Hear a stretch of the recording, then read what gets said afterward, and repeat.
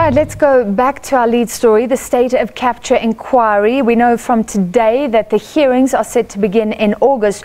The Deputy Chief Justice Raymond Zondo uh, providing an update after the investigations team uh, started its work ostensibly in March, although he said some of those investigators uh, have not been on the ground, uh, some problems in getting their contracts sorted.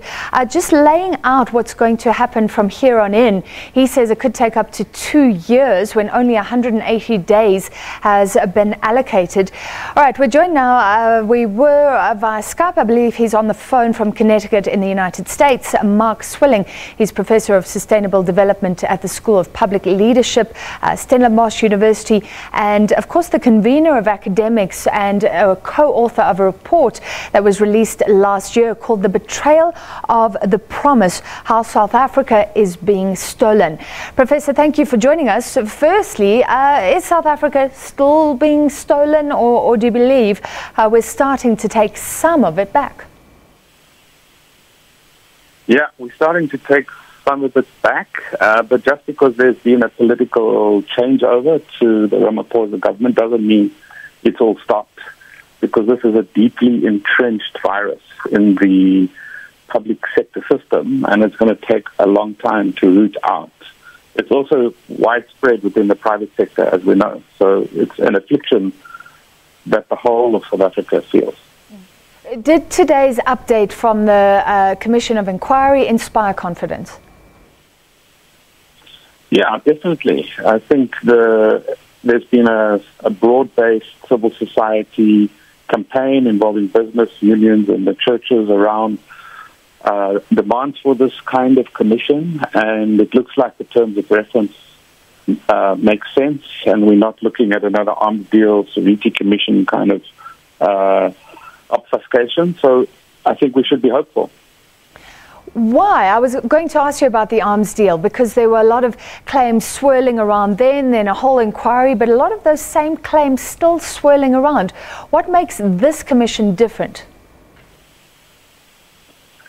Well, I think the terms of uh, reference are clearer. The scope of the power, the investigative powers are wider, and uh, the chair of the commission is a different, is is is, is an independent-minded uh, individual who I don't think is going to show fear or favor for those in power. All right, so we, we have good legal minds on this. Can you take us back to your uh, thesis you got together with other academics? And, and it really was, was explaining how each minister, how each step uh, was leading to something much bigger. You, you spoke of it as a silent coup.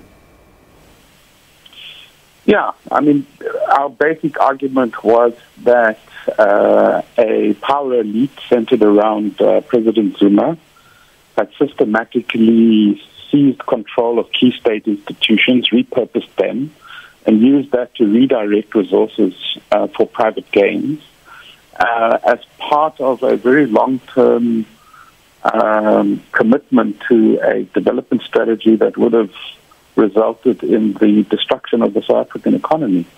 So I think uh, uh we documented that. Uh, we, we pulled together a lot of known evidence, but also new evidence about financial flows through international circuits. And we identified a number of individuals who uh, have been targeted, for example, the head of SARS. And, and Jacob Zuma, ostensibly at the center of this power elite, were you surprised when he actually did set this commission up in, in January? Uh, I wasn't that surprised because it was part of a, a comp- an internal compromise uh, to try and placate uh, some of his critics in order, as part of the strategy to survive, to look like uh, he was concerned about the problem and was doing something about it. So it was a, a clever move. But since then, uh, he's lost out. Uh, there's been a shift in political, in the, in the political center of gravity there's a new set of players, but some of the old players are still there, like uh, Ace Magashule and, and others. So uh, there's an internal power struggle, uh, and exactly how that's going to play out with the commission, uh, nobody really knows at this stage. But I think there's grounds for hope.